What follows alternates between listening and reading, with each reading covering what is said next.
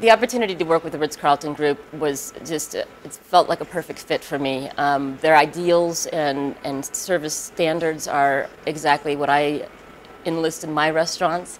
And it's going to be an incredible partnership because I really feel like we have the same vision for, for service and making sure that everything is just the way it should be for our guests.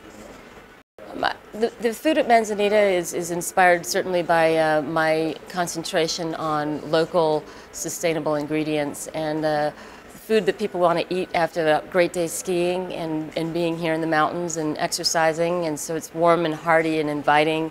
Uh, casual food, but definitely geared towards a cold mountain day and, and coming in and having a heartwarming meal. Doing a ski mountain restaurant has been one of my dreams.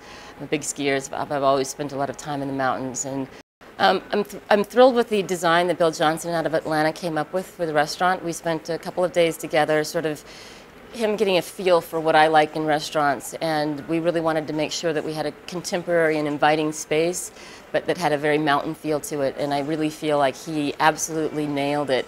It's just such a beautiful space, and all of the textures and materials that he's used here, I think, are perfect for a modern uh, mountain restaurant. And I think it's going to be an incredible showcase for our food.